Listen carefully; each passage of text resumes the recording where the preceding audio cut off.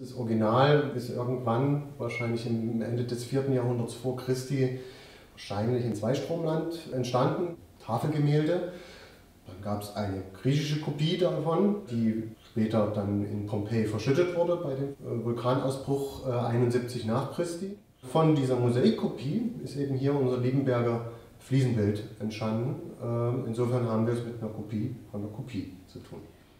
Ende des 18. Jahrhunderts wird ja Pompeji wiederentdeckt, äh, diese verschüttete Stadt, und 1831 wird die Casa del Fauno wiederentdeckt. Und dann geht sofort ein, ich sag mal, ein Raunen durch die Kunst und intellektuelle Welt, die bei Goethe äh, unter anderem zu dem Ausspruch oder zu der Einschätzung führt, das sei eines der königlichsten äh, Mosaike, was man überhaupt aus der Antike überliefert habe. Die Zeichnungen kursierten durch, durch Europa und so scheint dann sozusagen dieser Auftrag ausgelöst worden zu sein vom preußischen Hof, Friedrich Wilhelm IV., der sich also hier eine Kopie bestellt hat. Und unser Karl Adolf zu Hertefeld, der eben ein guter Freund des äh, preußischen Königs war, der durfte sich offensichtlich auch eine äh, bestellen.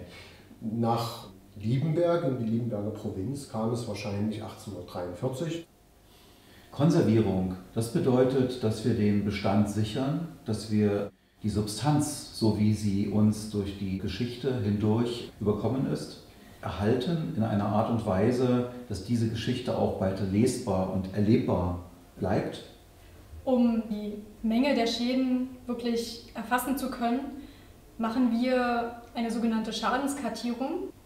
Was an dem Fliesenbild am meisten vorkommt, wäre der Abrieb von der Glasur.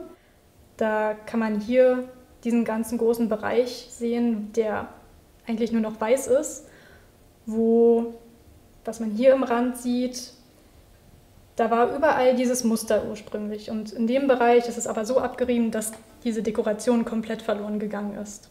Nutzungsbedingt gab es dann vielleicht Wege, also vielleicht hat dann irgendwie der Diener immer diagonal die Halle durchschritten und dann gibt es Abnutzungsspuren, die eben darauf zurückzuführen sind. Dadurch, dass es aber einen geschichtlichen Hintergrund hat, kann man es als Schaden formulieren. Man kann es natürlich auch, äh, auch als Alterswert formulieren. Das ist eine, eine Interpretationsfrage.